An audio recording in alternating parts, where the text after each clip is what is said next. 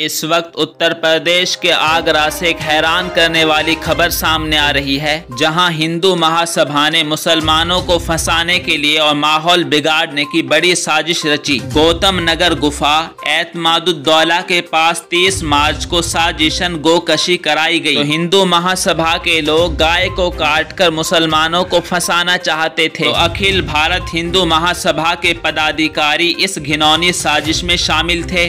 गुरुवार को पुलिस ने सनसनीखेज वारदात का खुलासा किया। दो आरोपी पकड़ लिए गए हैं। आधा दर्जन फरार हैं। उनकी तलाश की जा रही है। तो अखिल भारत हिंदू महासभा के जितेंद्र कुशवाहा ने गोकशी का मुकदमा लिखवाया था। मुकदमे में लोहा मंडी निवासी रिजवान नकीम बिज्जू आदि को नामजद किया गया था।